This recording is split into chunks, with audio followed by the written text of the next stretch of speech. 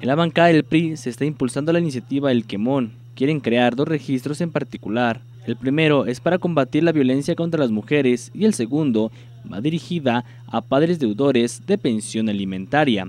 Así lo dio a conocer la diputada federal Norma Guel Saldívar. Cabe señalar que por cada 100 matrimonios se llegan a presentar 31 divorcios, esto de acuerdo al registro civil del Estado. Guel Saldívar agregó que se debe obtener un registro nacional de padres deudores de pensión alimentaria, la cual vendría a beneficiar a aquellas madres de familia que se hacen cargo de sus hijos sin que el padre les proporcione manutención.